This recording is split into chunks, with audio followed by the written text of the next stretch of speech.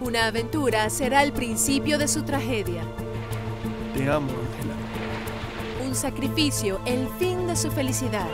Hermana. Ángela, apúrate. Mira, te quiero presentar a mi marido. ¿Por qué yo tenía que enamorarme de ti? Camila y Francisco Antonio no serán felices jamás. Ni tú ni yo tenemos ninguna salida.